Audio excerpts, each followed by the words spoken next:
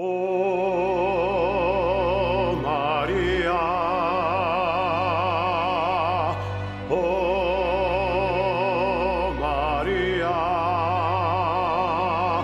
my beloved, do you hear my words whisper?